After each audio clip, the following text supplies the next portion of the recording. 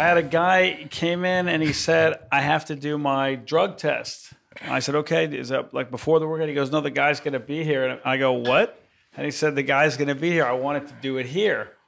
And You thought they were testing you, obviously. You're so jacked. all natty, bro. That's right. And uh, and so the guy came in, and that's not a to me that's not an enviable job. You're right. And he went in and followed my guy into the bathroom, and I didn't know this. He can't stand behind him, so he has They to gotta be stand right there. like this and see what you saw in the mirror from the side. the pecker checker, Yeah. just like your mirror. Maybe that's why your mirror is set up that way. Yeah, that's why. That's exactly, that, and that's when I redid the bathrooms. And he has to stand there and watch that. And I just thought, why am I in here seeing him see that? And it was one of those things where I just thought, wow, pro sports is not what people think it is. Yeah. you know, it was. Okay, well that was uh, that was one of our guests this week, uh, Gunnar Peterson. We actually were in L.A. last week, uh, not last week, last month. No, it was months ago. It was uh, it was April, as a matter of fact. Time has flown. Uh, we were in his house. What a shithole, huh? what a dump that guy lives in. a palatial Beverly, Beverly Hills. Uh, a just a mansion, just a, a giant. I don't know how that guy looks himself in the mirror every day. I, I don't know living in that place. How many square feet was that spot? do You think? I don't have a clue. yeah, it's bigger than my new gym. I know that. It's it's it's very very large, very Yeah. nice, place. Beautiful. Yeah, it was Yeah. absolutely amazing. Basketball court in the backyard. Uh, they have a s another house that has uh, like a gym in it, and they Yeah. have a pool, and it just it was just the list of things going on. It has a big big ass movie room, like a real movie room. Yeah, room. yeah. It was a real screening room. And he's like, I'm never even in. And he was very down to earth about it. It was very cool. yeah, he was awesome. But- he was great. Since we have seen him, something pretty cool has happened to him. He is now the director of what strength and conditioning, athletic Yeah. performance, whatever for the Lakers. Yeah, I'm really interesting, really interested to see how that'll pan out because uh, what I know of other strength coaches in the NBA, they are much younger and they're more responsible for a lot of things that I can't picture Gunnar Peterson being responsible for. So uh, it's just you know any any and everything to make the team better. Sometimes NFL is quite different. What Coach House does is quite different. Our uh, our homie Joe Kenn, but um, in the NBA, seems like they're still kind of quote unquote getting their shit together. Yeah. And uh, they'll have those uh, the strength coaches hustling around doing all kinds of stuff, washing towels and all kinds of crazy things. So I cannot envision that for uh, Gunnar, and I'm sure that he has uh, some other arrangements. But uh, I'm interested to see how it how it works out. I think the Lakers are uh, looking to get some new facilities. Uh, the facility they had before, we knew the previous strength coach there, um, and uh, the facilities were just terrible. Oh, really? Yeah. Really, really small gym area and uh, just not, not enough room for even all the players to work out, which, as you know, in basketball, there's not even that many players to have on the roster. no, So no. you should have enough space for everybody. You should. Well, I, I wonder if if director, if the title is kind of a part of Yeah, maybe it's more a little bit uh, hands off, maybe. Maybe it's a little Yeah, it's like he's sort of sort of structuring the training and setting Yeah. the tone and hiring people. Because Right. I think there was like a regime change, right? Yeah. I mean, that I hope so. that was the thing. All right. I hope so. Yeah, they need they need something down there. Anyway, enjoy this episode. If you're watching on YouTube, What was please. that other guy's name that was there too? Ben, oh, Ben Bruno, Yeah, that guy. That's who it was. Ben Bruno with the skinny calves. the skinny His calves. calves are opposite of Jim McDee's calves.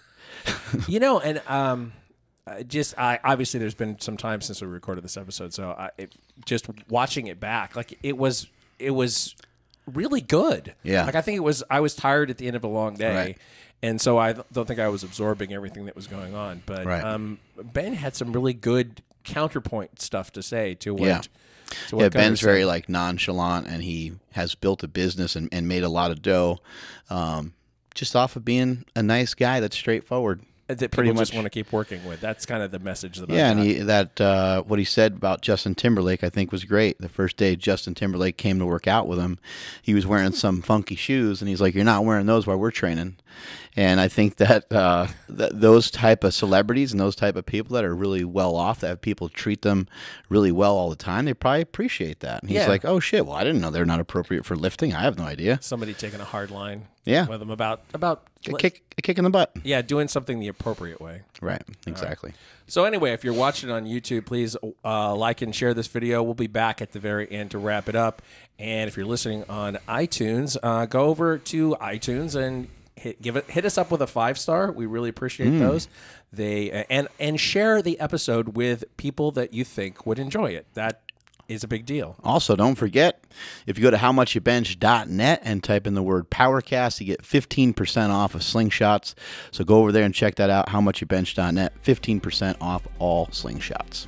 Support for this episode of the Powercast comes from Ape Man Apparel for people who lift heavy weights at apemanstrong.com. Compex Muscle Stim products at compexusa.com. Use the code POWERCAST and get an additional 28% discount.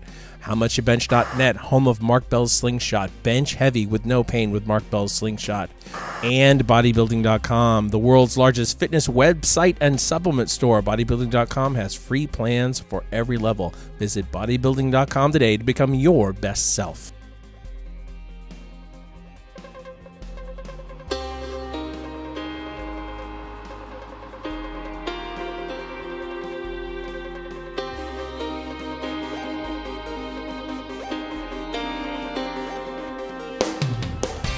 Recorded live in Los Angeles, California, this is Mark Bell's Powercast. Standing just to the left of Jim McDee, here's your host, Mark Bell.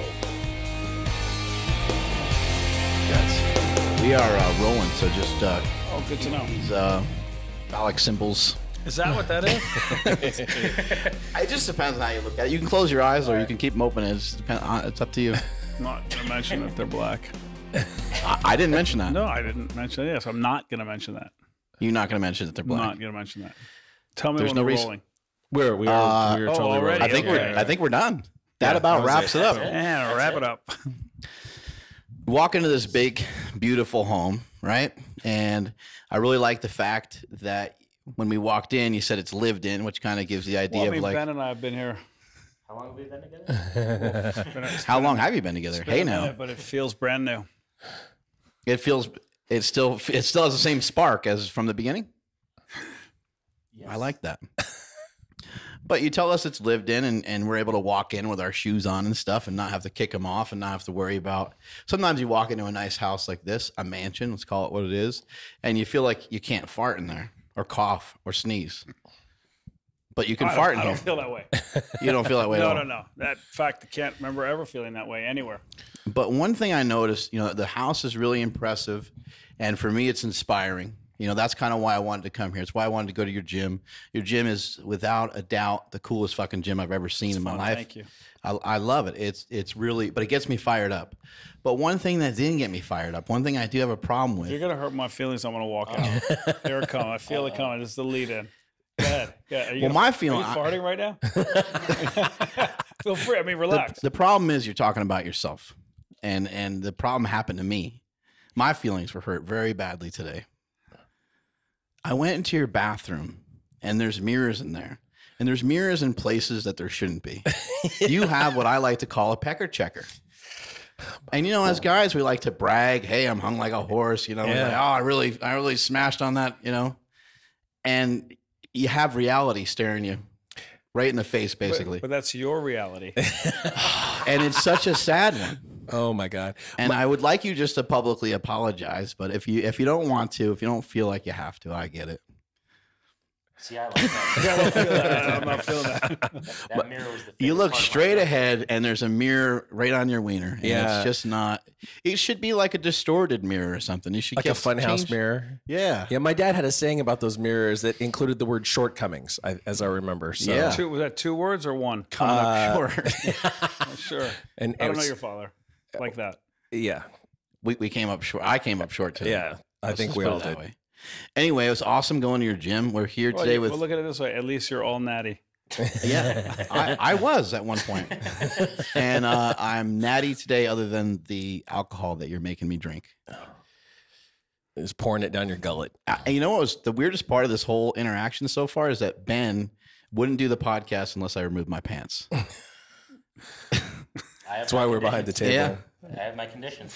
Bruno Strong. Yep. So we're here today with Ben Bruno and Gunnar Peterson. Ben's gonna raise guys- his mic for me. How did you guys? Uh, Thank you. How did you guys start this lovely relationship? How did you guys meet? How did we meet? I'm MySpace I'm known back in the I- Diz I, A? think it was either Tinder or Grindr or something like that. I'm not really Grindr. sure. You started with something like Yeah. Love the Grind or Rising yeah, Grind. or I'm not really sure. Yeah. Yeah. I, I actually don't know. I've known about uh, Ben and Ben's work for a long time.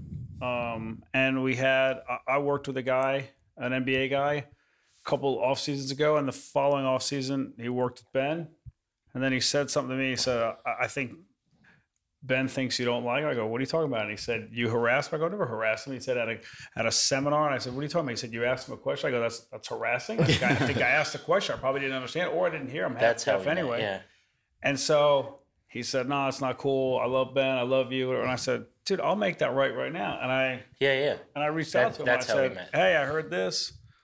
That's got to be a misunderstanding. No, it was a Boston move. Yeah, it was a very direct move. I I did think Is there another way?" that you didn't like. Yeah, how most people do, like the chicken Choke it up, way. choke it up. The chicken shit way, but There no. I got a message because yeah, I, I had thought yeah that, that Gunnar didn't like me, so I'm like yeah I don't think Gunnar likes me, and then he got a message. He sent me a message going like dude let's talk it out, and then we did, and I said, "Come over here." yeah yeah And yeah He came over, and then I said, "Come over for a Super Bowl or fight Yeah, night or something, something like like that. that. And have some drinks Yeah. and salmon."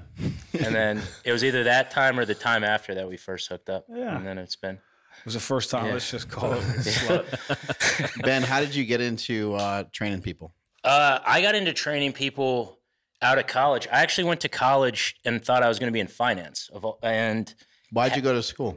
uh, just cause I think Seems didn't like a waste of time. Did you go to school? I did. well. Oh, kills you. So halfway through college, I had a back surgery and they fucked it up. So then I had I took a medical leave, started rehabbing. I used to never lift weights. I actually started lifting weights after my back surgery. So started rehabbing, got into it, then took the rehab to to strength training, realized I liked the 2-hour workout before my Yeah. school day better than my day and got into training. Uh, where'd you grow up? You grew up on the East Coast? I grew up in New Hampshire. okay. I grew up in New Hampshire, went to school in New York, and then worked at uh, Mike Boyle Strength and Conditioning Okay. for four ish years. And then I moved out here.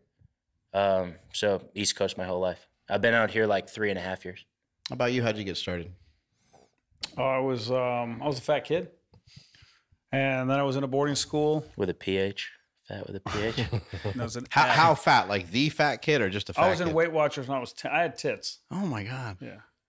Yeah, I, I had tits. I mean, but it now wasn't they're a obese, little but it was. fluffy. I wish I had met you then. I was. wow. Uh, okay. Can I get a hey now? Uh, and I said to my mom, you know, I used to complain about my weight, and my mom said, "You want to do something about it? Or you want to keep bitching about it?" And obviously, as a fat kid, I was lazy. I just want to keep bitching. But uh, she took me to Weight Watchers, and um, I stuck to the program for a while. Once I had a little success, I started cheating on it, the ice cream sandwiches and stuff. Right.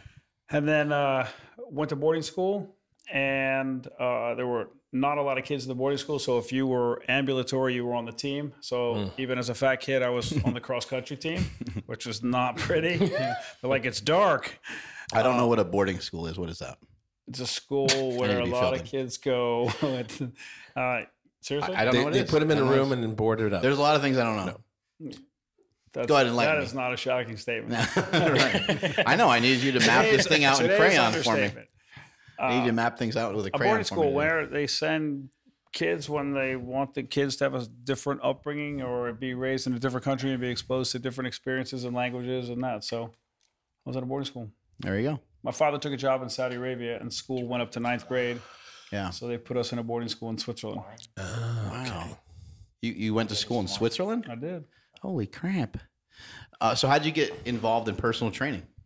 I was leaving the gym one day and a guy asked me if he could work out with me. And I thought he meant like as a lifting partner. Yeah. And I said, uh, sure. And he goes, what do you charge? And I, I locked up and I went, oh, we'll figure it out. And I went back and a buddy of mine said, you got to do that, dude. That's Yeah. so you. And I started working with that guy and then another guy and then a lady after work. And I realized with two or three people, mm-hmm. I could make more money than I could at my then job, which I immediately quit. What were you doing? I was working in a management office for talent in LA. Ah, And then how are you able to transition from just being your everyday trainer into being able to train I- celebrities and athletes and so on? I was able to train them. I mean, I'm in the right place for that. You know, I'm in, I'm in a place where you can't swing a cat without hitting a slip. Right. Is that PC to swing cats? Is that is that still? A thing? Uh, yeah. Just making sure. Yeah. No one, no one. not I don't illegal, think people, but it's if you said upon. if you said a dog, somebody might get upset. I, I can understand that. Yeah. Um, oh my God. and so anyway, I'm here, and, and I know you know you start to meet people, and know people, and, and they trust you. They see you're living in the gym. You're you're living, you're practicing what you preach. And someone said, "Can you work with?" Uh, somebody that I'm working for, and it was a celebrity, and I said sure. And then they don't always come from the same place. So they're referred by people who are in their circle of trust. So a chiropractor, a doctor, an assistant, or and then it just happens that way. And I'm centrally located, so I'm predisposed to a lot of areas in town. I'm not, you know, locked in one corner of town. Yeah. You're underplaying it a lot because there's tons and tons of trainers. There's tons of fitness centers here. There's a lot of places that people can go, and they could certainly at this point probably go for much cheaper than what wow, you're. that able- hurts. Well, they told me I the prices I over will there. guarantee you yeah. that if you took the top 50 trainers in town, we are not as expensive Well, there you go. as the top 48 for sure. For sure. Yeah. That's that's a good thing. Well, you have so much fun stuff in the gym, though. I mean, It's insane. I can see how that would be very appealing to somebody who wasn't necessarily initially on board with the idea of needing to get in shape for something. Bells and Winkles, shiny trinkets. Yeah, exactly. That's how we take their land, right? exactly. Yeah. Ben, how'd you get involved with celebrities and, and athletes and stuff? Uh, well, I trained athletes in Boston, and then here it's like Gunnar said, it's uh, it's just the, ge- where the they all live. geographic area, and then uh, And the trust. you train a few people, and you know they hang out with other people and tell them it's you know uh, it's Right. it's that yeah. If Once once you got some of the opportunities to train some of those people, were you nervous or scared? I mean, you've worked with Tom Brady and Sylvester Stallone, and you're working with all kinds of people as well. I mean, you get is there an intimidation factor associated with that at all? Or you're just like, um, fuck it, I'm just going to put them through the ringer. Yeah, I mean, I, I the the workouts are the same, you know. So, um, I I'm a sports guy, so I probably uh, get starstruck a little bit with certain athletes, but Right. not uh, there has to be, um, you know, um, in the sense like I like I know, you know, but in the workout's the workout. Uh, there has to be something. It would be an interesting study to watch just the pupil of somebody when Yeah. someone famous Yeah. comes in. It's not that you go, oh my gosh, it's someone famous, but there's a recognition. It's like Yeah, just like seeing Yeah. the Eiffel Tower. You've seen it in pictures forever, and then when you get there, you go, "Oh my gosh, it's the Eiffel Tower!" Not that you're you're blown Yeah. away or you start, Yeah. you know, geeking out and acting weird, but you, there's a, a recognition. right. But I think once you get, like you said, the workouts, the, the, workout. the workouts are the same, Yeah. but there are times where you'll be walking through the drugstore and see like the person you train on the magazine. You're like, oh shit, that's the person that we- we- we've just been working out. Or yeah, You'll be in the gym and oh their my song God, comes on that's the radio. photoshopped. Yeah, yeah, yeah, yeah, yeah. Or yeah, yeah. don't look that the, good. The song comes on. Like I notice now, I don't. When I drive, I I like tune music out. But then like if if somebody you know, their song comes on, and you're like, oh shit, like I know Crank that it up. That type of thing. Yeah, yeah, yeah. Um, or you know, I'll go to like, I don't know if you do this, but like I'll go to movies that I wouldn't go to just because somebody trains in it or something like that. Like if you know, I try to uh, support you know all, that. Yeah, like all the stuff my clients do. And even if I don't Yeah. have time to go to the movie, I'll go and buy two Yeah, tickets exactly. just That to contribute to the Yeah. box office. I think you're supposed to support them. You know, but like- to be honest, that's it's no different. When I was in Boston, I, I worked with a ton of high school kids, and I would still, I spent my nights going to high school baseball games and, uh, you know, girls soccer and you know shit like that. 'cause Easy, you support easy, the people you train. Easy. Yeah. Did, did but- you cross paths with uh, Eric Cressey? Yeah, he's he. We used to live together all Yeah, the time. He's yeah. one of my good buddies. Yeah, Yeah, Eric, Eric and uh, yeah, uh, we we lifted. We've probably lifted together maybe I don't know fifty times. Yeah. yeah. He's one of my. He he actually started off as a mentor, and he's the guy that helped me when I first started my website. Ah, I went to his gym and just like tagged along basically, and just like I I used to go lift there. And uh, actually, funny story. I had a knee surgery, and I'll be the judge of that. I used to. Well, not not funny, but I would go don't back and down. Don't back down. was wrong word, but I, I I think I used to go there and they used to make fun of me because I would go and while I was rehabbing my knee, I would talk to them, but between every set of them doing stuff, I would knock out ten chin ups. Ah, Nice. And uh, Pete, who runs their gym there too, Right, right. was like kind of counting. I think I I've done I did a couple workouts there where I ended up doing like 250 or some go- ungodly number of chin ups, just like killing the day there. Right. Like you know, uh, picking Eric's brain, and you know, we kind of transitioned somewhere along the line from him being more of a mentor to more of a friend. But he's the man. and we've known him for a long time. We don't have a lot of He's interaction with him right now. Yeah. We we should, I think. He's strong as shit too. Yeah. yeah. He's a, Why do you get the headphones and we don't? Um, I g- only He's a one technician. Set. I only brought one set, and I left them off the last interview that we did, and um, the guys told me we were peaking a little bit, so I want to make sure we don't fuck this up. Peaking. You couldn't wear pants, and I wanted headphones. Yeah, So Gunnar, uh, you know, I've seen you comment on some of the stuff I've posted uh, in the past. How did you learn about me? Uh, through Because when I saw that, I was fired up. I was like, "Oh shit, through your it's brother. fucking Gunnar Peterson." I, I, I through your brother. I'm a huge fan of, and not just because he's th- In the there, room? but I- I, I'm a huge fan of his work. I've known his work.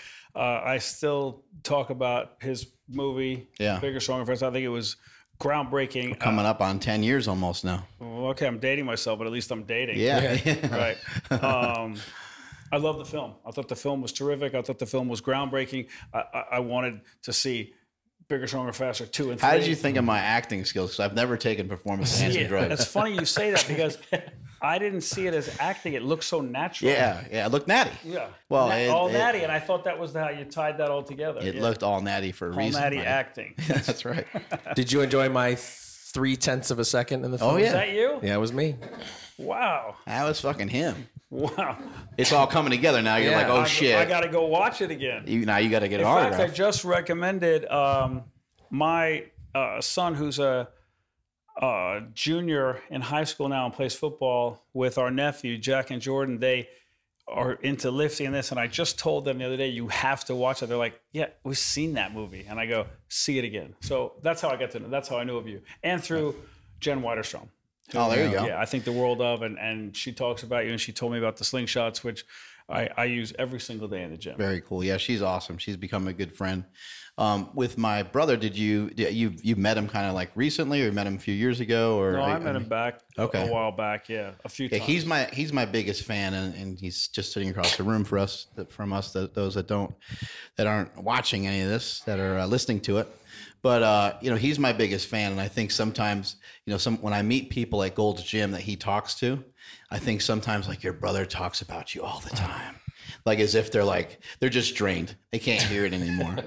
but it's great having somebody like that that uh, go to bat for you. I all talk the about my brother all the time. He's why I tell people he's the smartest guy I've ever met. He's- Right. He's, the most generous, biggest heart, and sometimes you know your brother, so you have the brother thing. But Yeah. just, I think supposed, that's how we were. We were raised to be best friends. I raised my kids to be best friends. That's awesome. That's a good way to do it. Now, you know, with it, see, with seeing bigger, stronger, faster, I know the steroid thing must come up quite a bit with you guys working with celebrities and getting people prepped for a movie. And does it come up a lot? I mean, a lot of people when they you, you mentioned Photoshop. I know Photoshop and you know anabolics and stuff like that, or performance enhancing drugs, however you want to say it, are, are kind of attached to each other. When they see somebody get in really good shape, like a Hugh Jackman, I think right away everyone's thinking, "Oh, he must be running some shit." I think if your Photoshop game is on point, you really don't need steroids. That's probably true. Yeah, I, I don't know anything about like Right. that whole deal. So I get uh, people. I get people who I- ask. uh, yeah, I get a lot of people that ask, and my response is basically what I just said. Like, I don't really know. I'm probably not the guy to. or I tell them to two or, to. two or three potential side effects, and then they beg off. Yeah, Go, yeah, "Hey." it's it's. or I um, say you can get certain results if you do this, this, and this, and then they go, "So I don't need that." I go, well, "You don't need it. It- yeah, you, you could do without it." Right. I think a lot of people don't understand that you can get in great shape and be really fucking strong Duh. and look handsome as hell. Duh. yeah, I think a lot of people don't understand that you can lose a lot of weight and transform your body in really short amount of period of time. You know, like at 10 weeks, 12 weeks, 15 weeks, stuff like that. Well, most of the guys, I mean, there are a few examples of dudes that are huge, but most of the guys that you see on screen aren't really that big. It's Right. not the, you know, it's really, if you get lean and, you know, you look pretty big on screen. Because if they were really big, they would look too big. They would look. Well, I think a lot of the pe- like that that uh, sort of lean but like muscular look is probably what would you say like maybe like for a guy of like average height like 155 to 160 pounds like not super big dudes a lot of I would say know? the, the one thing that's shifted over the last, uh, I mean, I've been doing this for a lot of years, but in the last 20 years, one of the shifts is guys don't say, I want to be big. Yeah. They say, I just want to be lean. And, and I'd say, you want to see the separation between the muscle groups, right? And they go, yeah. Mm. And they're not going to do all the other things that are necessary to get real Yeah. size. They're not going to eat right all the time. They're not going to time it out. They're not going to sleep enough. They're not going to reduce other stresses in their life. So it's probably easier just to have them yeah burn some body fat and have things pop out. And then they usually go, oh, no, no, I'm big enough. I'm big enough. Right. And Mark, you know, I was talking to your brother before. A lot of my clients, it, you know, it's funny when I hang out with like lifters, I'm the little guy, Right. and then with when I hang out with my clients, it's like I want to like be muscular, but not as big as you, and I'm I'm like 180 pounds. Yeah, they're like you're You like know, what? uh, yeah. So it's you know, it, yeah, it it's a different uh, it's a different look. How do you get these people lean? What are you doing with them? Uh, Pixie dust, magic. yeah, pretty. You want you, you want to go or me? You know, after you.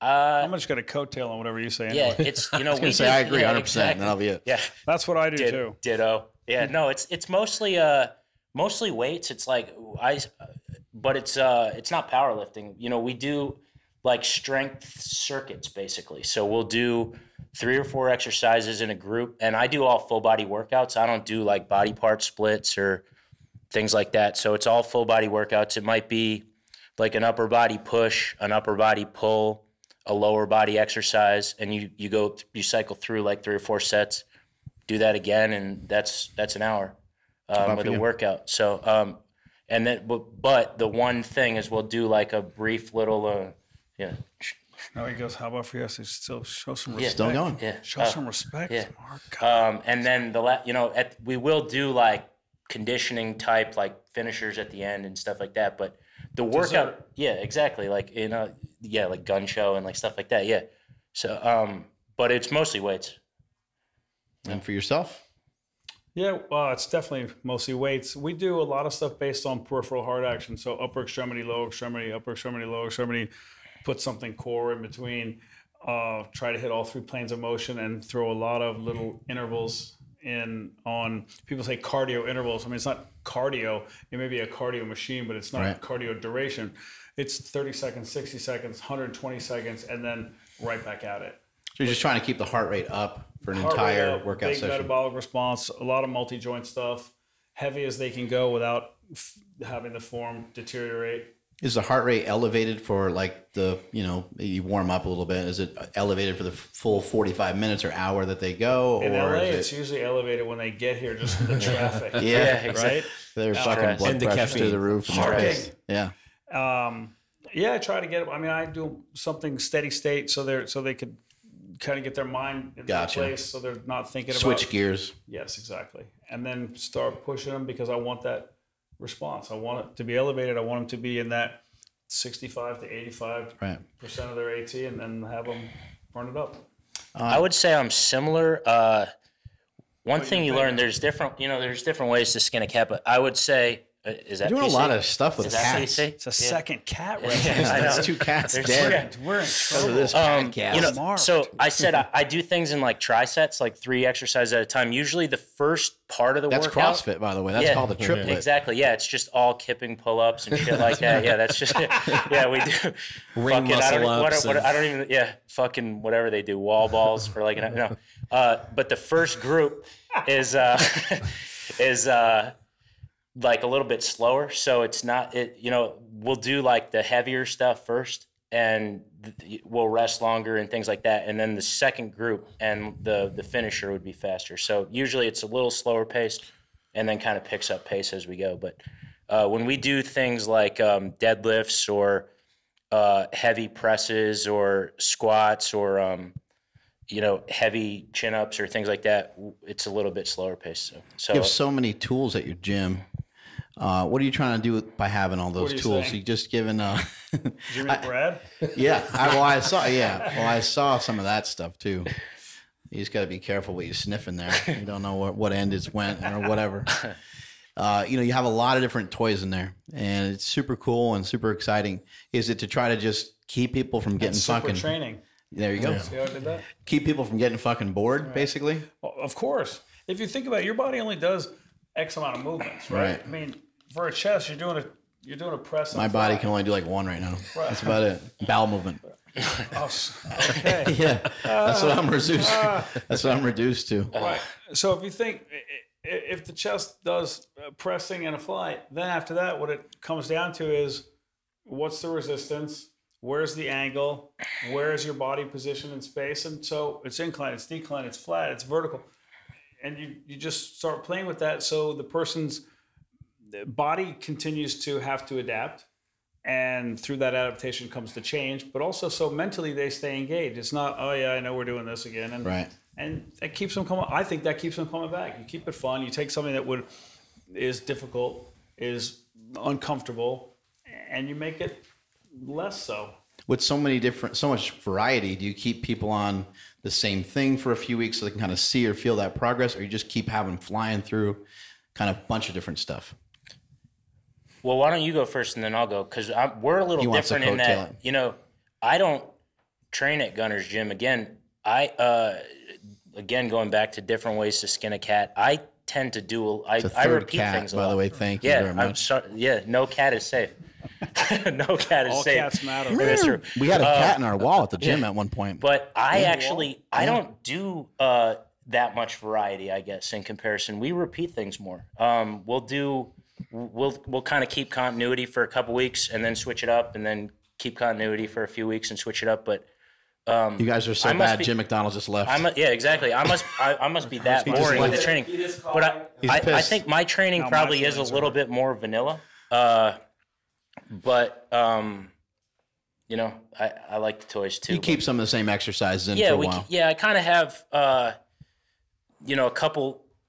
I find for each client like a few uh, what I would call like barometer exercises. Like I guess in powerlifting, you guys have like the big three, which Right. I don't actually do any of those with any of my clients. I don't do like barbell bench, back squat, or conventional deadlift. Everybody But I- listening right now just went, come on. I know man." exactly. I know They're, they're, so all going to say. I'm a huge pussy. I know, but um, which isn't entirely. That's another true. cat Close. reference, right? Yeah.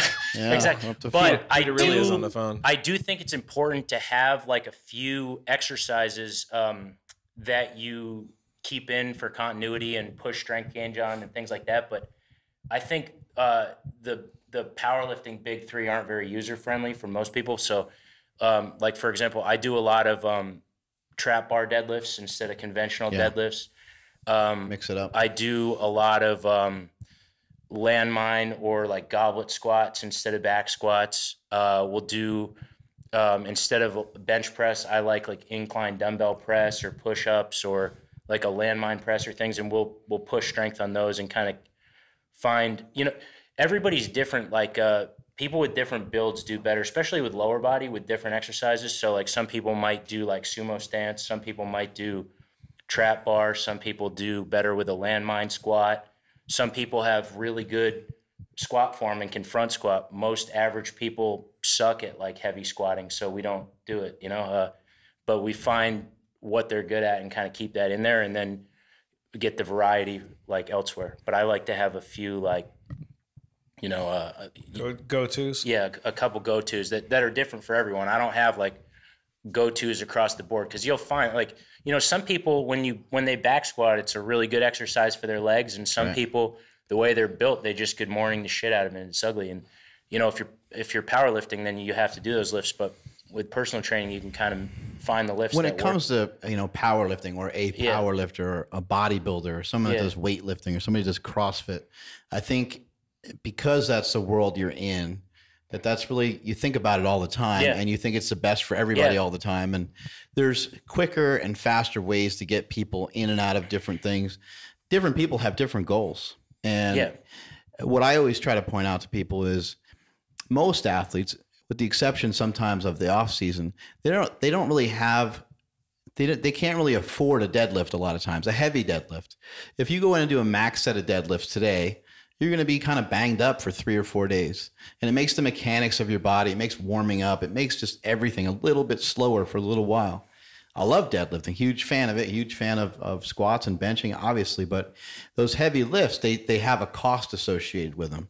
And when you think about an athlete, of course they can do some squatting, of course they can do some benching and, and things like that, but how much do they do? How heavy do they go?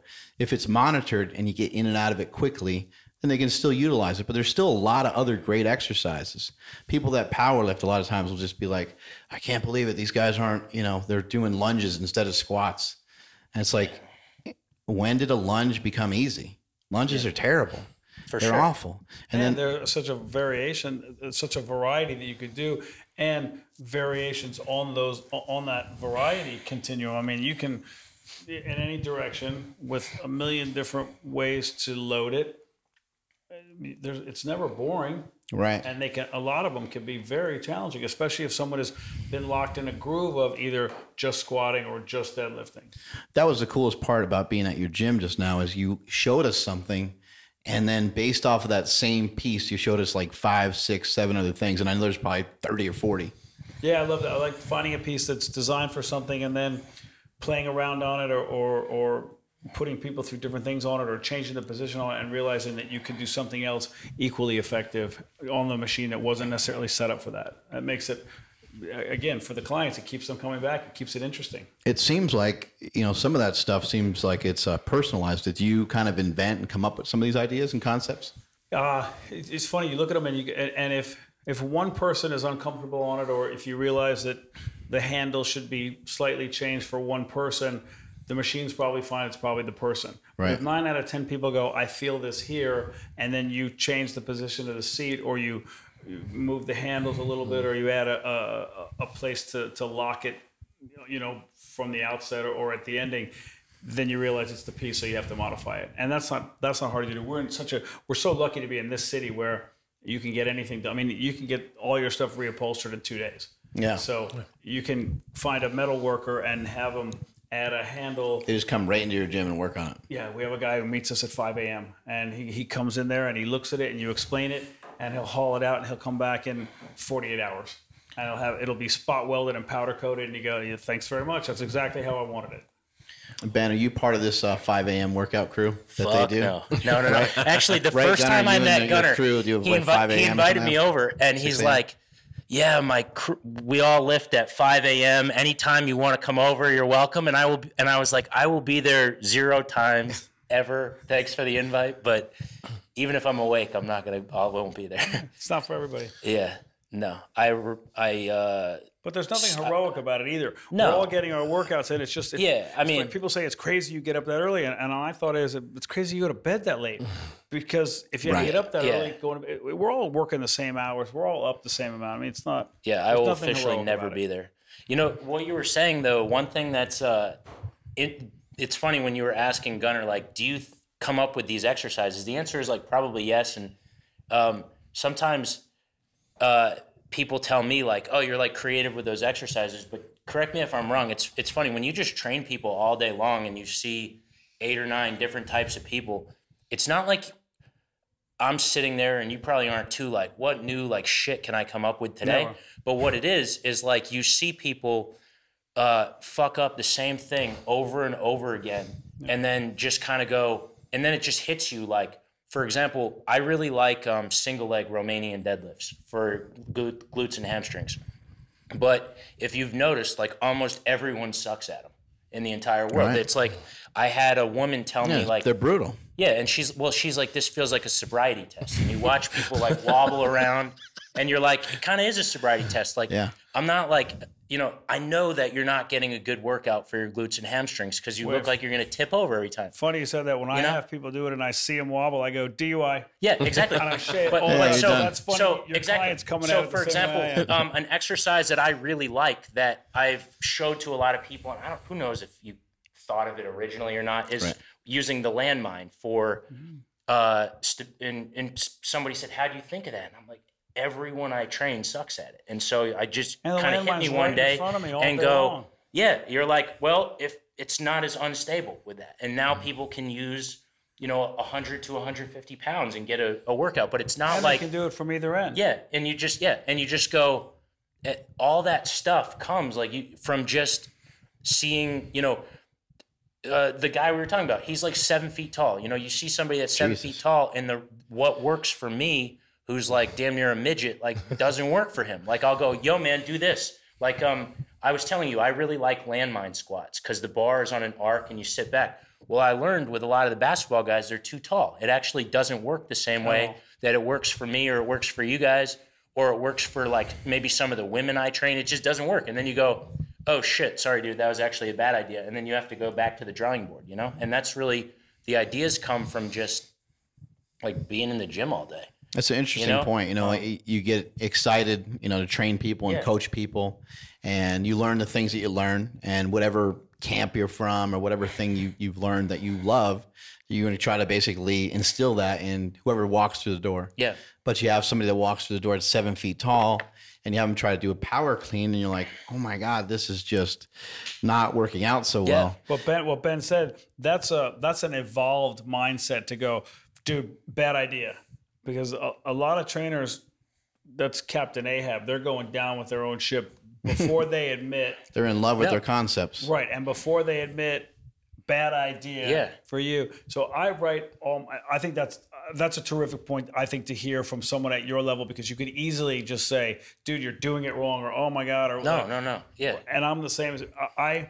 I write every I write a different workout for every person every day, and I print them up and I walk around, and it's my little piece of paper. It's my little personal Bible, it's, it, but it's it's I tell them it's it's not set in stone. It's a template, meaning if I watch this move and I realize, whoa, bad idea, we're off that. I'm not. It's not Yeah. worth. There's no upside to having you do that and either risk injury or or start to hate me or whatever. I Yeah, we'll just how- move along. how is how are there not other options? You know, there's so many other options in the gym. There's so many other things you can do.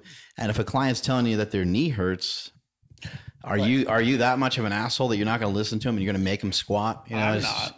I don't think One specific thing I think would be interesting, given the, your listeners, that I want to talk about, because it's probably the biggest programming shift I've had in the last three or four years, or not programming shift, but biggest change I've made. Because I'm a pretty basic guy, and I um I have a little meathead in me too, where I like to lift heavy, I like to deadlift and things. But when you were talking about deadlifts, um, I told you I use the trap bar a lot, and one thing I switched again from watching people butcher it all the time is you know a lot of guys just like feel like they have to like deadlift come hell or high water and you know Every single funny, week, 'cause I love weeks out of the deadlifts, but it's funny because people argue about like what exercises are dangerous on the internet and they're always like behind the neck like pull downs or like Mm. leg extensions or whatever and calling a spade a spade like probably the most backs have been fucked up from like deadlifts and squats the most shoulders get fucked up from the bench and i'm not saying you shouldn't do them but uh There are also the movements where people are predisposed yeah, to try to go and they heavy. go heavy. You know, You can but- lift the most weight I doing do those think, movements. Um,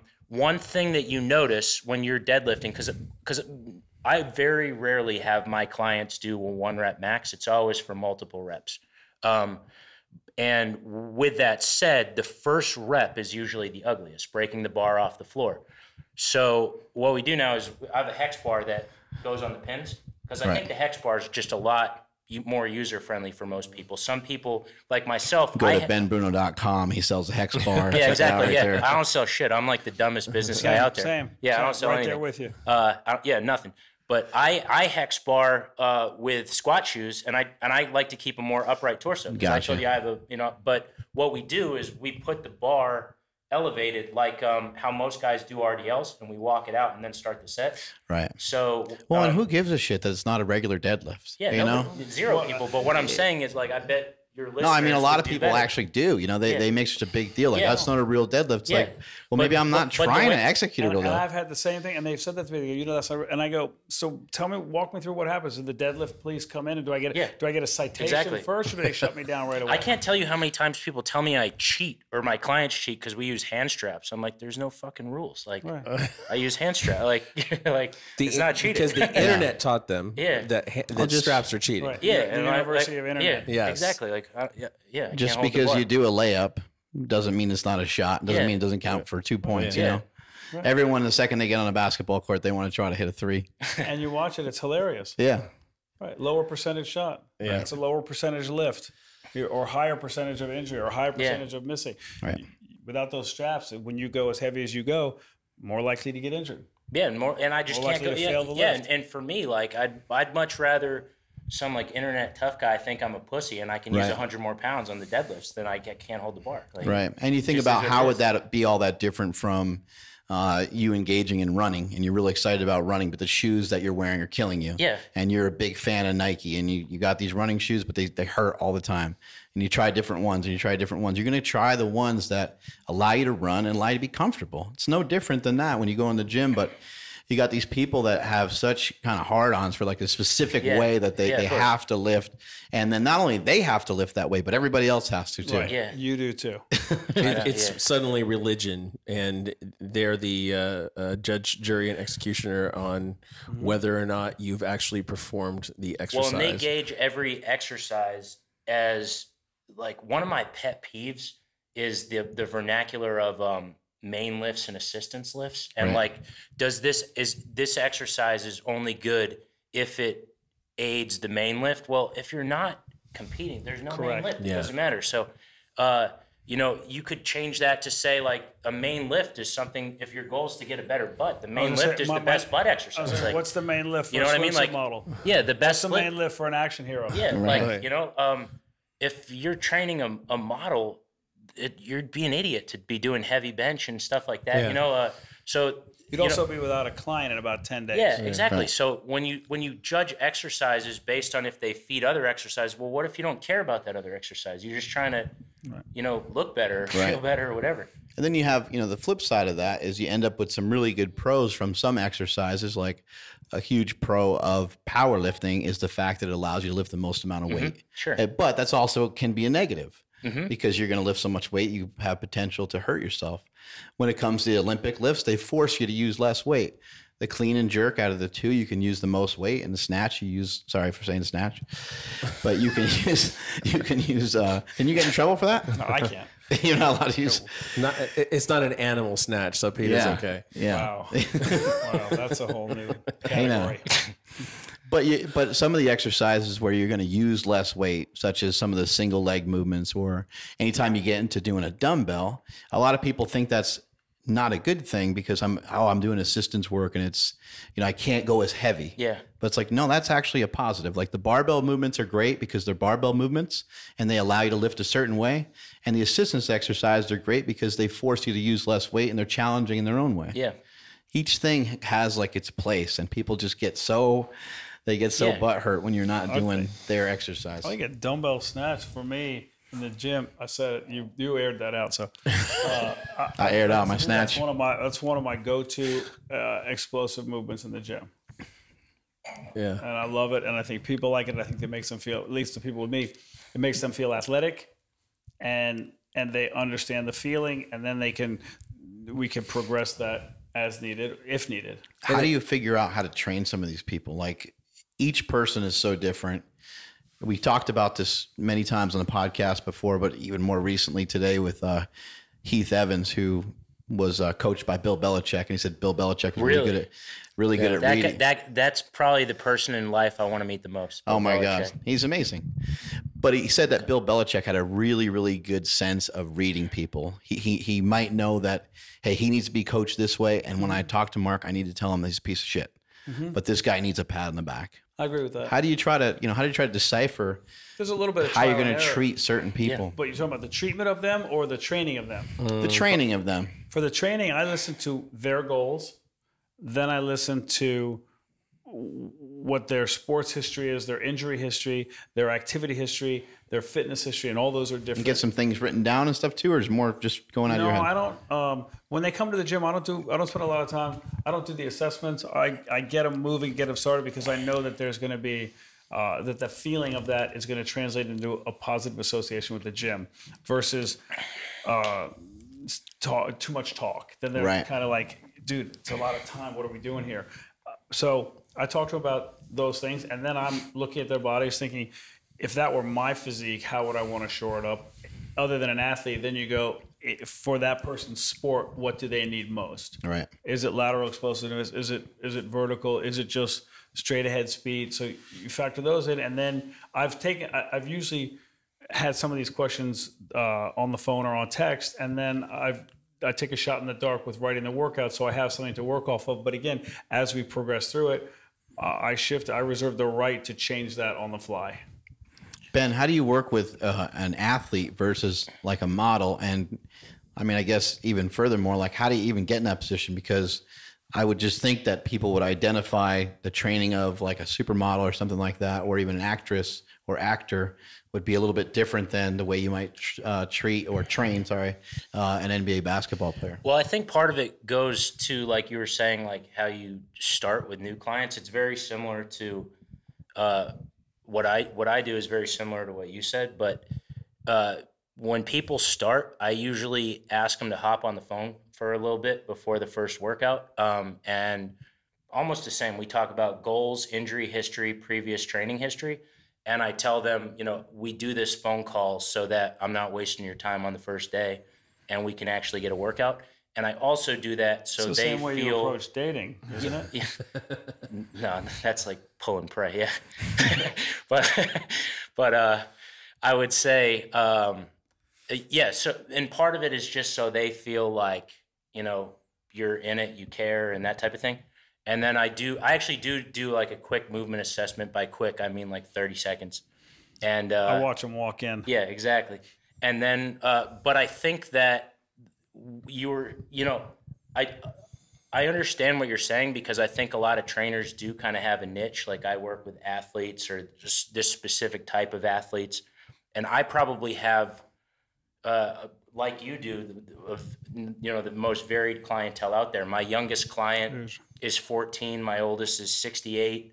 Uh, guys, girls, athletes, non-athletes, the whole bit. But uh, I think that people don't feel weird about it because they're not all doing the same workout. It's not Right. like uh, it's not like the basketball guy walks in and sees himself doing the same workout as the model. They're they're just doing different stuff, and you you basically. I mean, I, I, I sometimes call myself Captain Obvious. I basically take people's goals and they go, you know, hey, I want to like work on my butt. I want to like get this damn area under my arms and my triceps. And I'm like, all right, like pretty much all we're gonna do then is like butt, triceps, and that fucking area under your arms. Right. And do that. Whereas like a basketball guy, it's like I want to jump high or whatever. You know, yeah. I, I try to train. I try to infuse a certain amount of athletic movement into all of them. I think a lot of people, Mm-hmm. if you look at where they started in life, you know, from kids on a pre- playground Right. to whether they're sitting in the office or or riding a, a, a team bus between stadiums, a lot of their movement patterns are regressed. So they haven't they haven't spun quickly this way or turned this way or thrown anything down on the ground hard. And I try to bring a lot of that back just so they feel more comfortable and competent using their body in as many ways as they can. Performance based, right? Yes. You know, it's an interesting thing that sometimes uh, when you run into these different coaches and different people, and you communicate with all these different people, um, you know, we've had we've been fortunate to be good friends with Kelly Starrett, our, our MobilityWOD uh, master, and uh, Kelly Starrett said in a seminar one time that it's really rare for most people to even get below parallel, had to have their hips lower than where their knees are. And something that I just started thinking about. And I was like trying to think about each day that you go through. And if you're not like a lifter, you're not somebody that does some squats, then you really don't get into that range of motion. Even when you take a dump, you're still Unless you norm- drop something on the floor. Yeah, yeah, you're still, uh, you know, yeah, unless you squat all the way down to the ground when Did you you pick see the stuff up. toilet in the gym? I did. I saw that. And so when I get people say I can't squat, I go, well, hang on. Did you go to the restroom? What do you mean? Just sit there for a second. Right. You're squatting. I'm not saying you have to axial load two times body weight, but I am saying let's get you down there. Let's Right. get you to move that and see. And and they go, wow, I didn't think about that. Sure, you did. It's it brings up an interesting thing just because people might not have done any of these movements for years and you're talking about throwing stuff and slamming stuff down. Even something as simple as throwing a football could end up being some form of training for somebody just because they haven't done it in forever or swinging something or twisting as you're kind of mentioning. Um, it can be really effective ways and it's taken them through range of motions that I haven't done in years. And if you think on a on a more physiological level, just moving the blood around through the joints and all that, the, the, circul- the circulatory improvement the, the, that makes them feel better. It, it does clear out the cobwebs, and they leave feeling, "Wow, I didn't know I could do that. It's been a mm-hmm. minute since I've done that." And and I, for us in our gym, the positive association with what went on in there, I think, is what furthers the business. So it keeps them coming back. I was going to ask if you felt like if you felt like there was a psychological difference between training an yeah uh, an average person and a celebrity, or uh, but obviously you're saying that you're using this with all your clients to give that that feedback, that positive feedback. I may have jumped on, on your question. I, I would think I would say for us, um, everybody at the end of the day cares about feeling better and looking better in no particular order. It depends Yeah. on the person. Really, we're a very visual society. People do want to look better. You can say you don't care, but at the end of the day, you do look in the mirror and go, "Shit, Yeah. what happened here, man? Everybody I'm cares, A yeah. wreck." Well, it, it's been my experience that with athletes, um, sure, there's going to be a, a little bit of vanity, but the ones that are the most driven could care less. If you say, if we do this, your performance is going to improve, but you may not look as good, they'll take that every single time. And I don't. To me, that's the one thing that doesn't translate to general public. That makes sense. Uh, These people make a lot of money. They do a lot of great things. How do you keep them interested, and how do you how do you uh, how do you just uh, you know basically just get them to buy all in to what you're doing? Me, you, I'm in. Rochambeau. I don't. uh, I, I I think a lot of it has to do with like creating a good rapport and a good relationship. Like the first couple times, um, you know, uh, yeah, and then from once you have a good relationship, I think people are willing to kind of go to bet. Right. Feel- For us, we try to keep it fun. Yeah, We try to make it yeah, so that it's that positive association and and they're going to get what they came there to get plus they're going to leave feeling not just good physically but they feel good about themselves. They did something good. They they they paid into themselves and that they can i always tell them everything we do in the gym services everything you do outside of here which means you'll be better on the job. Lower rate of absenteeism decreased risk of injury uh, more patience towards your spouse more patience towards your kids uh, resistant to disease all these things and they th- that carries over. That's to me it's a, such a no-brainer to pay into that a little bit to benefit from that outside Right. Ben, you mentioned uh, having a mentor. Do you have any mentors? Oh, mentors. I- I mean, I I've attended a ton of seminars. I, I don't know if you look up to. I, I have a lot of respect for a lot of people across uh, uh, the vast uh, landscape of the fitness industry. A ton. I mean, your brother, you, Ben. You know, present Right. company. Um, I've seen guys from Pavel with the kettlebells. Um, Right. you, Paul Chek. You, you can't Mark uh, Juan Carlos Santana, uh, Mark Verstegen. There's so many guys out there that do so much good stuff, and and girls and women. Jen Widerstrom. There, there are a ton of people. I mean, Jillian Michaels. I've never met her, but you can't, in my opinion, you can't not respect what she's been able to do Yeah. in this field, how she took it and ran with it and launched it. Uh, respect. I mean, it may not be the way somebody else would have done it or the way I would have done it, but you got to go. That's, you know, Bob Harper, the, the, the trainers that, that put their lives on pause and, and go on TV, whether it's for the right reasons or the wrong reasons. I'm not going to throw that judgment call out there, but you go, man, you guys are, it's a, it's a tough gig out there. It's tough to, to separate yourself from the masses and, and to rise above or to or to even be singled out. I say hats off to all of them and the more they do, whether you're just sitting at home making fun of them or Right. you're sitting Yeah. at home wishing that were you, you ha- I think you have to give them credit. You know, go all the way back. Go Jack Lalanne, go Arnold, go Sly, go the guys. Your brother mentioned in this movie. Yeah. How can you how can you deny Dwayne Johnson? I mean, he's he's brought back something that's been gone. It's it's the resurrection of that action hero. He's he's the guy. He's Right. the guy. Period. How have you built all this? You know, it if you if you you know you got a beautiful house, your gym is insane. How are you able to build it? Because you were putting up points on the scoreboard long before social media came around. Now, you know, now the game has changed quite a bit. You know, it used to just be word, word of mouth, but I now there's a, kid lot of other said things. to me, I had a kid who said to me, a trainer in his 40s, say to me, it was so much easier to get a leg up in fitness before social media. You really had it easy. My knee jerk reaction was to smack him because I said, How you mean it was easier to get a message out when there were less ways to get the message out and there were less people receptive to that The message? fuck are you write somebody write somebody a letter or something? I mean, I don't know. Exactly. Right. Direct I- mail, I had Smoke to, phone calls. I had to go The home pigeon. and listen to my answering machine. right, it- exactly. So, um, I, I, I, it's hard. It's you outwork them. I'm not. I'm. You said average height, average weight. I'm right there with you.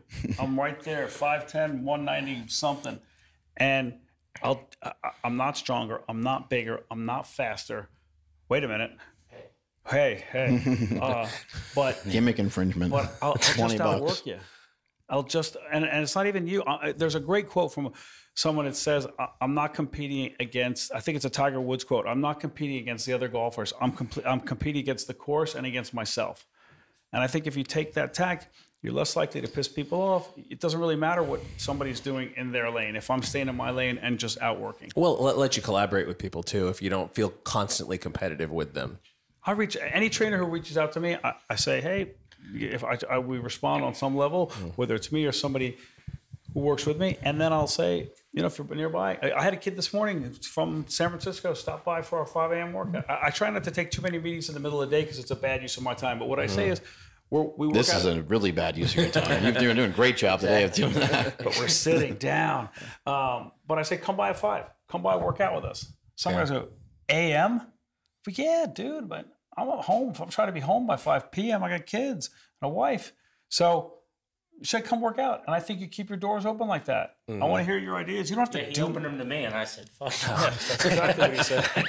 and he's repeated it. Well, I also think if you were 20 and some of the guys you mentioned earlier, like a Paul Chek or, or some of the guys you looked up to, if they said, "Hey, yeah, be here at 5 a.m.," you you wouldn't ask another question. You'd be like, "Oh, I'll see you tomorrow." You know, you just if be they offered that to me, yeah, I'd be there at 420. yeah, you just I'd be sitting in my car at 420. Easy.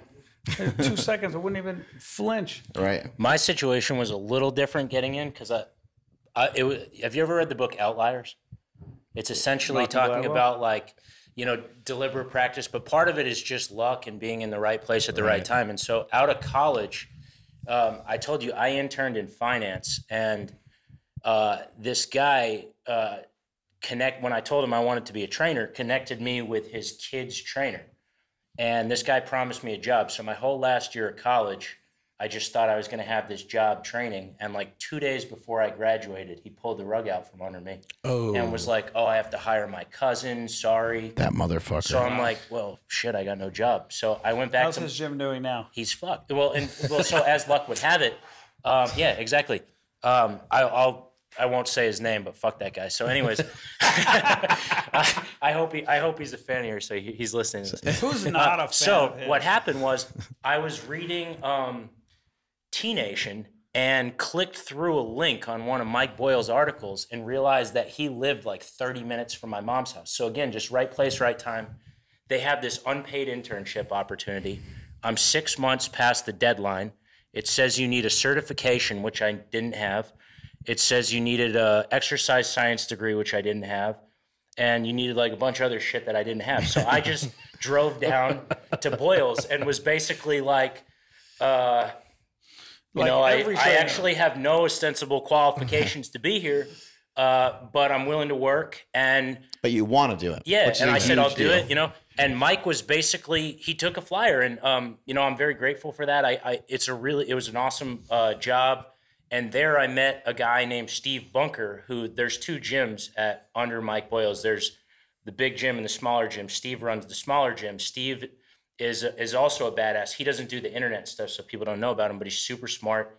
And ended up he's he's kind of like my pseudo dad now. You know, my my dad passed away, but Steve's like kind of like a dad slash like he helped me with training, and all that shit happened from just like this other guy being a dick and like pulling the job out from under me. Even you know, uh, Right. I ended up at at a gym that's like a very well regarded gym, and I learned a lot, a lot more than I would have. and not to tie it all together, but from there, you just outworked everybody else. Maybe. Yeah, You just know. stayed the I- I- course. and yeah, and then, you know, and then I've met nice people along the way that have helped. And you know, you mentioned Eric. Uh, again, kind of an outlier situation. Eric's super successful with that type of stuff, and I just went and hung out, and he gave me advice on starting a website. Um, you know, uh, and along the way, I've, you know, kind of, I guess, just right place. Gunnar, right you, you mentioned how you started training some people. Somebody just kind of asked if they could work out with you type deal. You started charging people and started getting more into it. Uh, was there a lot of formal education that So that happened before or after that period? So I would say initially, what I knew about training, working out, nutrition, recovery uh, was from magazines, books, and I was and I read them nonstop. I read them in college, and people were like, "You're a goof. You read all that. You're a weirdo." Okay, it's what I liked. It was interesting to me. Um, when I started to see when the clients started increasing, I thought it was it was it was incumbent upon me to learn more and be better, which I did. And I sort of thought, well, I'll do this part time a little bit, and then when I saw it, I can do this big time, I started learning more and more. And I would seek it out, and I would take weekends, and I would fly to Chicago for a seminar, San Francisco for a seminar, Phoenix for a seminar, and I found the guys who were at the time and probably still to this day. Um, the the the the oracles, you know, the guys who you go that Paul Chek. I got to go to a Paul Chek seminar. How could I not go to a Paul Chek seminar? I keep seeing this guy. Who's Paul Chek? I want to know everything I can about him, and I would go more than once to a seminar. I would go to one of Pavel's seminars. I would Me and my go brother, there's like five or six names that we just would talk about all the time. all the time. Louie Simmons, Paul Chek. I mean, the list. Juan Charles Poliquin. Yeah, Dan Duchaine. We just Oh, sit yeah. there and just like, just these names are just popping out all the time. Vern It's Gambetta all the was hell we another ever thought I just about. go. I got to go listen to this guy. Right. I want to find it. Uh, It doesn't matter where it is, what it costs. I got to go. And then I'd come back Monday, and I would have clients who would say to me, "Oh my God, were you at one of your seminars this weekend? Because we're we're changing it up and we're incorporating new things." And and and I couldn't get enough of it. And then I thought, I got to get certified, get warrant cert. And then you go, wait, there's a higher one. I got to get that. I got to get that. And you would just keep going after those, so you could rack those up and say, I've got those, even though clients don't ask, don't care. At least in my world. So I have those to fall Yeah. back on. You know. And They say that uh, education can get you a job, but self education can make you a fortune. Who said that? You? I just made it up just now. Terrific. I'm going to use it's that. the wine. My, it's empty. is it some kind of brain wine? Yeah, I think so. That's a, that's terrific. Yeah, I think I, I would. Well, because when you seek it out yourself, you're going to school and some motherfucker is telling you what you have to do, right? And there's going to be, even my brother studying something so specific as film school, he's got to film some black and white shit that has, you know, doesn't have people talking in it. And he's got all these projects that he doesn't even want to do. He's got to take a lot of classes that he doesn't want to take. He's got to learn a lot of shit that he doesn't want to even bother to learn. That's current.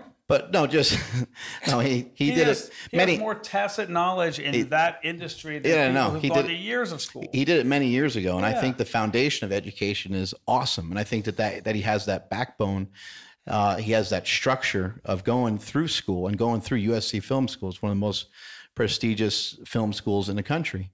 But at the same time i think that there's nothing better than you forcing something. People use the word organic all the time and i don't know why because anything that's great is fucking forced. Oh, It's something that you force and something you go after with every bit of your fiber, every bit of Every day. every day, Yeah. nonstop. You're going after it. And when you started seeking out more and more information, I believe that's what was happening. Is you Still. you're getting hungrier and hungrier, and you're like, "Fuck, I need more. I need to learn more." Well, hold on, that didn't make that much sense to me. I needed to learn more about that. My brother's uncovering all these things about uh, the keto diet, and you uncover one thing, and then it opens up a whole nother thing, and you just continue to learn and learn, and learn. But if you didn't seek it out for yourself, mm-hmm. you would it would be impossible for impossible for you to ever find the truth. Well, education never really tells you what works for you. It tells you what maybe worked for somebody else. And I think you have to find out on your own what works for you.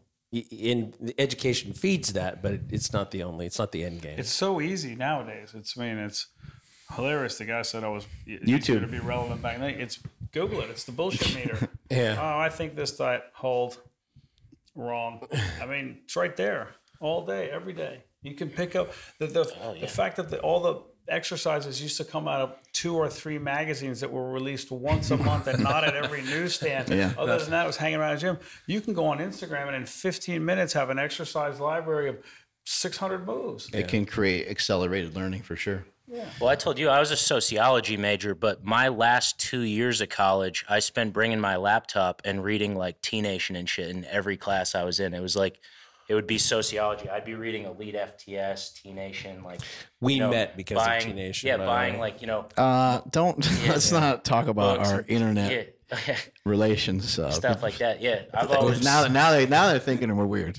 you know, one thing we're different about, I actually like don't really like or care for like certifications, but I still read everything. I just I, I- I've uh, I've always like I don't know, like the idea of the certification seems stupid to me. I'm like probably barely qualified to even be a trainer, but I like on paper. Somebody I cut his like, mic. Uh, but I'm super into like You're barely qualified to hold that microphone. yeah, exactly. well, yeah. Uh, to me, the certification Yeah. is, is like I say, okay, that's, you Yeah. know, I think I'm a great driver. I still went and got a license. yeah, exactly. Yeah. Yeah, Just No, because I, sure. I thought Yeah. if, if anybody stopped me, I could show it to them. I, I feel Yeah. like if anybody questions me, It's a great example. if anybody Yeah, questions me, Jim. I'm like, look at the certification. Now finish the set. yeah. I mean, it doesn't mean it doesn't mean I'm the law, but it means Yeah. I'm running shit in my gym.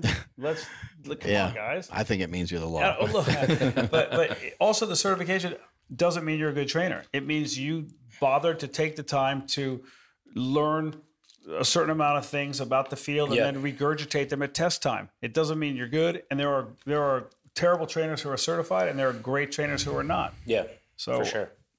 was there when I look at your gym and then we look at this beautiful home, um, was there a moment that changed everything for you? Uh, my I did an infomercial years ago, and that that was yeah that was pretty big. That was pretty um, that was changing. Right. it changed. It, it put you on a. It put me in a place that I never saw fitness taking me, and it, and it was. It changed things. Sure, it changes things financially. It changes things for how Basically, changed uh, you getting money back from the government at the end of the year versus you paying the government. Were you there? Yeah, exactly. That's exactly. I've been there, yes. Yeah, and um, and it changes also how you're looked at within the industry, and certain people think automatically that you're good or someone who they should listen to, and other people right out of the gate hate you. What I've was had- the infomercial for? Uh, it was a stability ball series of workouts on a stability ball called Core Secrets, and um, So you build up a name and reputation, and then uh, you get in with somebody on a project, and that's kind of how it happened. Or I, I was approached by the infomercial company. And Okay. they said, we want to do this or this. What do you think? And I said, I would do this or this. And then I was lucky. I never asked my clients for anything. I don't ask them for memorabilia or Right. pictures or any of that. And at the time, I thought, this is one I have to ask. And I said, would you do a testimonial for this? We all train this way. We've all used this product in my Right. gym. And they were gracious enough almost across the board to say, yeah, sure, no problem.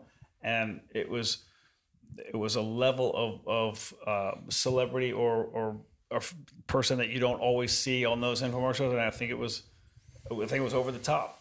the thing that I find kind of cool about that is is you know there there is this turning point that helps change things. Uh, maybe you have uh, better financial means, which gives you freedom to do some other things. Yeah, Maybe to buy equipment or t- to Take uh, a trip to go to a seminar. yeah, take a trip to go to a seminar, or like you mentioned earlier, you had some stuff in your garage, and then you kind of like just wiped that whole house out and knocked out the second floor, and turned the whole damn thing into a gym, which is pretty uh, mind-boggling. But what I always try to share with people is there's not going to be like any one thing that really changes things because if you just dropped off after that infomercial, if you were celebrating and you were excited and you you started getting into drinking or drugs or any of these kinds of things, got distracted or or you were complacent, uh, you would fall off and you wouldn't be where you are today. So it's you can't have these things that are fucking cool that happen. Oh shit, I got to train Tom Brady. That was fucking awesome.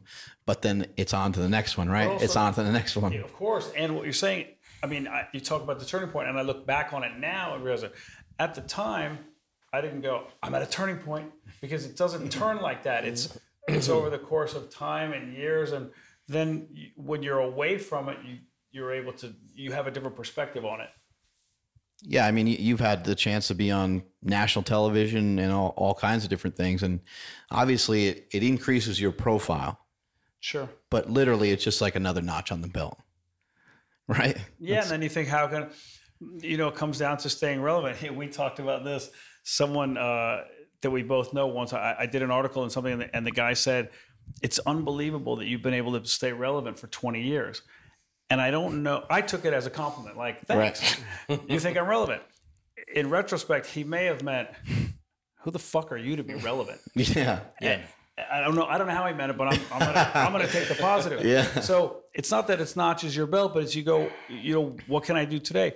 Who did you work with today? What are you doing tomorrow? How are you going to tweak tomorrow's workouts? What am I going to do the next week? It's I don't look at it like a check, check, check. I like the idea of getting a client and keeping a client versus always getting new ones. Who's the best person you've worked with, Ben? Like from a, you know, out of the celebrities. I know, you know, you, you got some uh, clients that, that may may listen to this, but just uh, you know, who's who's the hardest worker, who's the easiest, who's the best, or who's the biggest pain in the ass? Um, That last one's kind of a minefield. yeah, So yeah, I would say. Um, I mean, I like different clients for different reasons. Like my, you know, a good client to me is somebody that I enjoy the hour. You know, I, I think, uh, you know, uh, Right. Yeah, I'm you not- look down and I'm you not- go, "Wow, it's yeah, 50 minutes." I'm not really What? sure. Which is, uh, and to be honest, it's uh, you know, Gunnar talked about he he prides himself on keeping clients. You know, we we talk about this all the time. I actually don't really have like I don't really take new clients that often. Uh, I kind of have my crew that's just like been the crew, and that's because I like them and keep it Been moving. saying, so uh, training the same set of people for yeah, I mean, years. I kind of have the same people, and really, That's none of them have really dropped out. So right. sometimes they travel and rather than fill the time i know they're going to come right back so i just sort of have my my crew and Right. uh you, have know when you're tr- I extra mean, coffee that day yeah but you can't really have yeah exactly when they're gone. yeah but you can't really have like that many people when you're you know but i i really i you know i've picked a group of clients that i really enjoy um so yeah i'm not really i can't really say And I like the people who work the hardest. yeah yeah. I like the people who who are not trying to skip out. Like when you say one more and they go, "That was 12. You go, "That was 11." I like when they go, "Really?" and then they go, "Bang bang," and do two more. Versus, Yeah. no, dude, I was counting, and you're like, "Why are we debating this? Could have been done with the rep." I'm not doing this because I I need to be right. I'm doing it because that's where our count is. And fi- I mean, okay, mm-hmm. so the people who want to work the hardest, that's what I like. People, how do you how do you choose who comes into your gym? It's not that I choose. I try to let bring them in, see how it feels. Maybe I'm not the right guy for you. Maybe you're not the right person for me. And if you're pushing and working and and putting into this what I feel I'm putting into this, it's a terrific match. The pe- a- a- and the other side of that is the people who are not there for that. That's just not. Those are the worst. Slow you down. Yeah, you're there for the wrong reasons. Then that's just not going to work. Was there anybody in particular where you really learned something from that their mindset was just so positive and and uh, they were, you know, just working their ass off so much that you learned something from?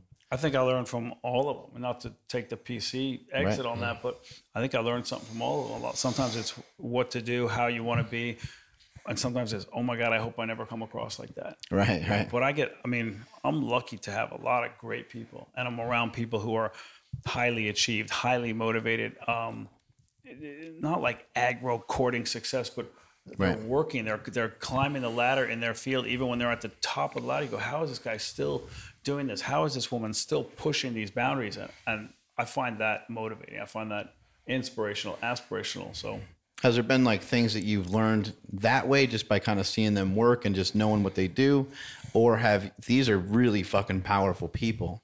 Have you learned a lot about like business through them? Yeah. Uh, you know, learned a lot about business directly kind of through them having coffee afterwards or that kind of thing. No, not having coffee afterwards, but I actually had a lady today. She said some story came up about someone else, and she said, and the point of that is never take your foot off the pedal.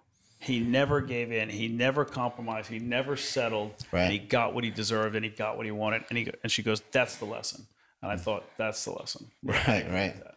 So it's almost more general. It's not like you sat down and talked about like numbers or anything like Yeah, that yeah, with some of the powerful people that you guys have trained. For me, it- it's sort of both. Like you know, we're again, we're in a different spot. I, I've I've had my own training business for like three years, and I'm I sort of fly by the seat of my pants in in in a, Right. in a lot of respects, and um, I've probably learned a lot more about business from my clients than any like trainers. I haven't gotten any formal like business coaching or things like that, but I think I if you look at people outside of your field that are successful, there's a lot of common denominators, both in what they say, but also just how they act and the they way carry- they go how they about their lives, how they carry themselves, yeah, and all that type of stuff. And um, I'm pretty lucky to train people that are very successful. And you look at that and you see that, and you kind of like monkey see, monkey do, um, Right. and apply that to to training and you know in, in business also you know um, dealing with people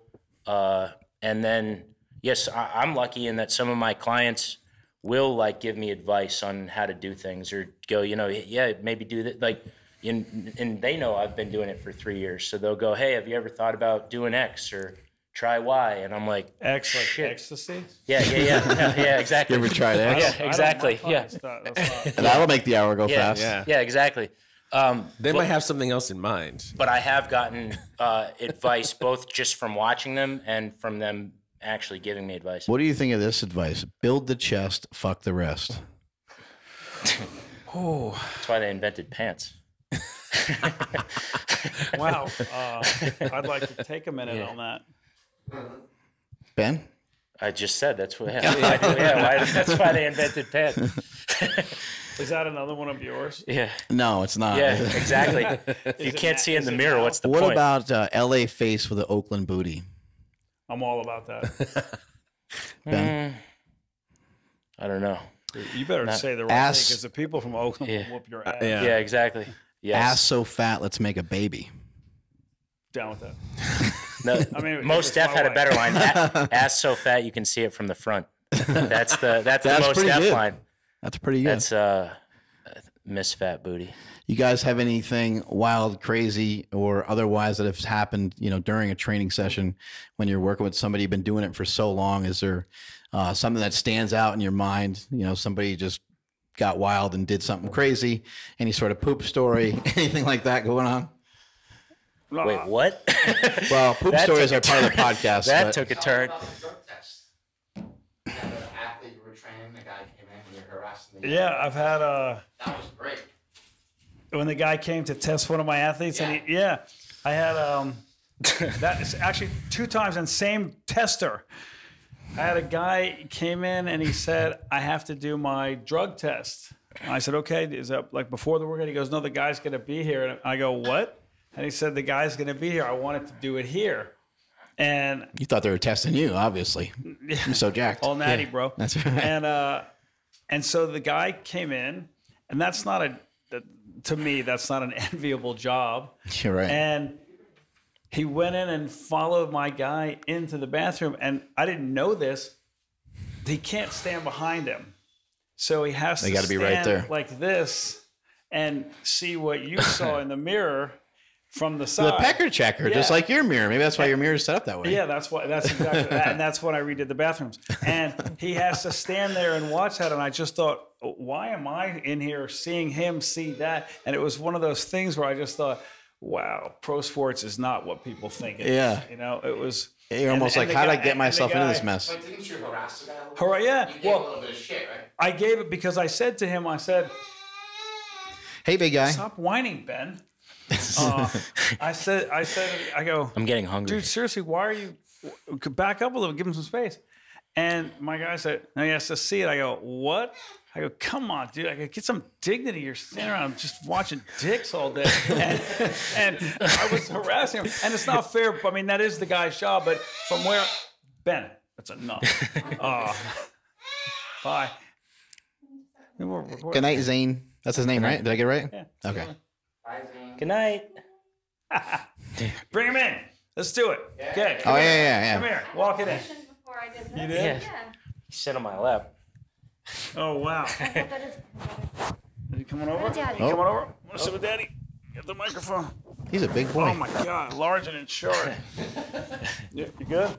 No, no. he lo- he loves grabbing your face. Anyway, yeah, that's a face grab. All right, take it easy, pal. Anyway, this is gonna last for about that long. Right. Anyway, so I thought that was a I thought that was a strange moment in personal training, probably not experienced by everyone, not needed by everyone, but it was an interesting moment. Listen, you guys know where to find out these guys. If you don't, just go ahead and Google it. You have anything you want to plug before we drop off, Ben? Or I don't sell anything. No, there you go. no. I want to plug Ben Bruno's training. Bruno's strong. yeah. There you go.